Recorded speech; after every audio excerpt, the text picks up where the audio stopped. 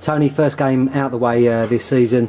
Fair result. Yeah, I think overall it was a fair result. Um, you know, the second 45 minutes were much more positive than the first 45, and on the on the bearing of the, you know, the second 45 we should have won the game. However, you know, we didn't start the game well.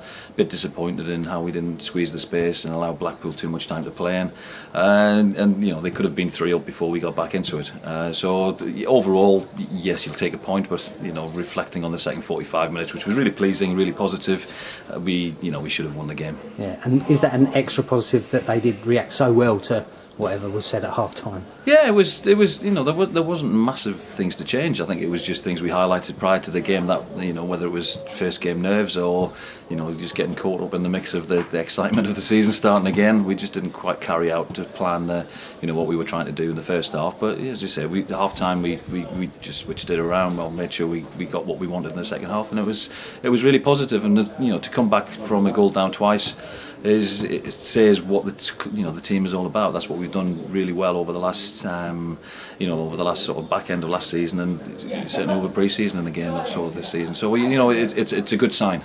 Yeah, and, and obviously over the past 18 months since Alex Gilbey has become a regular in the first team, probably adding goals has been the biggest criticism for, for him, but he's certainly done that through pre-season and now in the first game. Well, that's a it's, it's a you know it's a great um, start for him. It's it's something that Alex has done as a as a you know as a youth team player and through throughout the academy. We knew he could do that. We knew he had the energy to get forward and he had the quality to you know to score goals.